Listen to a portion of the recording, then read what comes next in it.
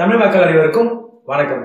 நீங்க பார்த்துட்டு இருக்கிறது டெக் தமிழ் சமீபத்தில் நம்ம இந்தியாவில் நடந்த ஒரு பெரிய டிரான்சாக்ஷன் எதுன்னு பார்த்தீங்கன்னா ஜியோ கம்பெனியோட ஒன்பது புள்ளி ஒன்பது சதவீத ஷேர்ஸை வந்து ஃபேஸ்புக் நிறுவனம் வாங்கியிருக்காங்க.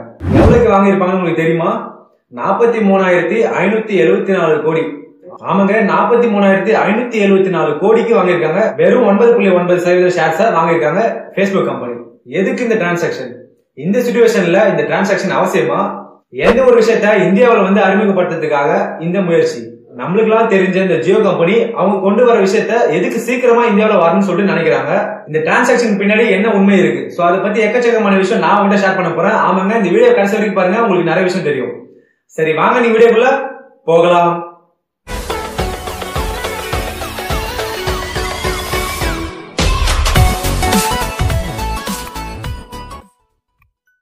டிஜிட்டல் இந்தியா இந்த வார்த்தையை வந்து நம்ம யார் அதிகமாக சொல்லி கேட்டுப்போம்னு பார்த்தீங்கன்னா இவர் தான் ஆமாங்க இவர் தான் வந்து அதிகமான டிஜிட்டல் இந்தியான்னு சொல்லிட்டு நம்ம இந்தியாவை டிஜிட்டல் இந்தியாவை மாற்றுறதுக்கு பெரிய முயற்சி எடுத்துட்டு இருக்காரு நம்ம பிரதமர். நம்ம இந்தியாவை டிஜிட்டல் இந்தியாவை மாற்றுறதுக்கு பல நிறுவனங்கள் வந்து சப்போர்ட் பண்ணிட்டு இருக்காங்க அதுல ஒரு நிறுவனம் தான் ஜியோ. இந்த ஜியோ நிறுவனம் வந்து ஒரு பெரிய பங்கு வகிக்குதுன்னு சொல்லலாம். நம்ம இந்தியாவை வந்து டிஜிட்டல் இந்தியாவை மாற்றுறதுக்கு முதல்ல முதல்ல நம்ம இந்தியாவை டிஜிட்டல் இந்தியா மாத்துறதுக்கு ஒரு ஃபர்ஸ்ட் ஸ்டெப் கொண்டு போனது யாருன்னு பாத்தீங்கன்னா நம்ம ஜியோ சிம் கார்டு தான். இந்த ஜியோ கம்பெனி வந்து ஸ்டார்ட் பண்ணி மூணு வருஷம் தான் ஆகுது. அதுக்குள்ளேயே வந்து முன்னூத்தி நாற்பது மில்லியன் யூசர் வந்து இவங்க வச்சிருக்காங்க.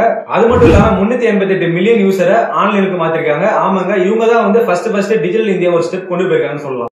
நான் சொல்றதுக்கும் இப்ப ரீசெண்டா நடந்த ஒரு பெரிய டிரான்சாக்ஷனுக்கும் சம்மந்தம் இருக்கு. ஆமாங்க இப்பயும் வந்து அடுத்த ஸ்டெப் கொண்டு போறது யாருன்னு பாத்தீங்கன்னா இந்த ஜியோ கம்பெனி தான். இப்போ வந்து ஒரு புதுசா ஒரு விஷயம் கொண்டு வர போறாங்க. அது பேர் தான் Jio mart so Jio mart company வந்து நிறைய பேர் கேள்விப்பட்டிருப்பீங்க. நிறைய பேருக்கு தெரிஞ்சிருக்கும் தெரியாமையே இருக்கும். தெரியாம இருந்தா நிறைய விஷயம் தெரிஞ்சுக்கலாம். வாங்க. ஜியோ மார்ட்னா ஒண்ணும் இல்லை. நீங்க வந்து உங்க அத்தியாவசிய தேவையான மளிகை பொருட்கள் அப்புறம் டே டு டே லைஃப்ல யூஸ் பண்ற பொருட்கள் எல்லாமே நீங்க அதுல வாங்கிக்கலாம். இது பாத்தீங்கன்னா இ காமர்ஸ் பிளாட்ஃபார்ம் தான். சேம் தான். ஆனா வந்து சின்ன சின்ன பொருட்கள் வந்து நீங்க உங்க லோக்கல் ஷாப்ல இருந்தே வாங்கிக்கலாம். உங்களுக்கு தேவையான வீட்டு மளிகை பொருளை நீங்க ஈஸியா ஆர்டர் பண்ணி வாங்கிக்கலாம். இந்த ஜியோ மார்ட் மூலியமா. இந்த ஜியோ கம்பெனி அறிமுகப்பட்டதா சொல்ற ஜியோ மார்ட்டுக்கும் ஃபேஸ்புக்குக்கும் என்ன கனெக்ஷன் எதுக்காக இவ்வளவு டிரான்சாக்ஷன் எதுக்கு ஒன்பது புள்ளி ஒன்பது ஷேர்ஸ் இவங்க ஃபேஸ்புக் நிறுவனம் வாங்கினாங்க? அதாவது நம்ம மார்க் ஜூகர்பர்க் வாங்கினாரு. இப்ப இந்தியாவில இல்ல நம்ம வேர்ல்ட்லயே வந்து அதிகமா யூஸ் பண்ற சோஷியல் மீடியா பிளாட்ஃபார்ம் பாத்தீங்கன்னா மூணே மூணு தான். என்னன்னு பாத்தீங்கன்னா வாட்ஸ்அப் இருக்கு இன்ஸ்டாகிராம் இருக்கு ஃபேஸ்புக் இருக்கு.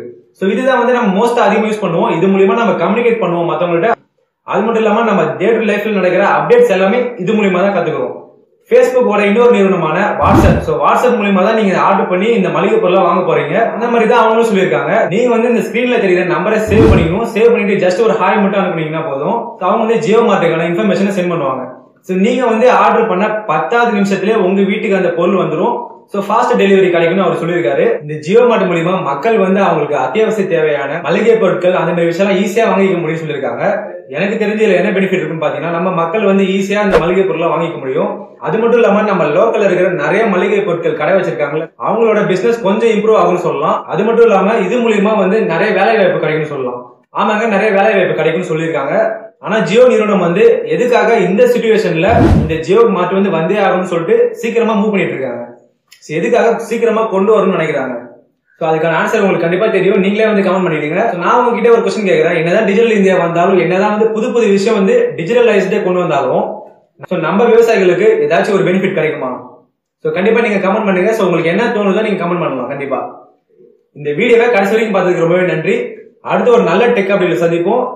சரி நீங்களும் நம்ம சேனலை சப்ஸ்கிரைப் பண்ணலாம். சப்ஸ்கிரைப் பண்ணிக்கோங்க. கூடவே இந்த பெல் ஐக்கன் கிளிக் பண்ணிக்கோங்க. நம்ம போடுற இன்ட்ரெஸ்டிங் டெக் வீடியோஸ்லாம் நீங்க ஈஸியாக பார்க்க முடியும். தேங்க்ஸ் ஃபார் வாட்சிங் தமிழை வளர்ப்போம். அறிவோம். டெக்னாலஜி